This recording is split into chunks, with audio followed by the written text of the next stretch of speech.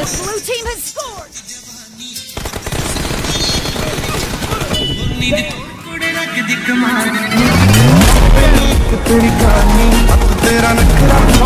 जवानी तेरे सपने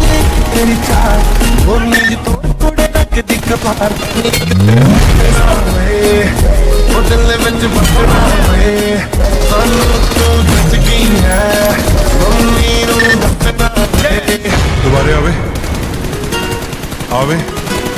Abi.